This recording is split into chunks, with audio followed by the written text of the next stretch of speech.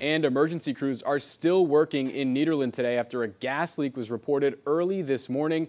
It took place on Beauxart Garden Road near Highway 69. The leak was producing low levels of hydrogen sulfide gas, and fire crews, manufacturers, and even the Texas Commission on Environmental Quality are all working continuously to resolve the issue.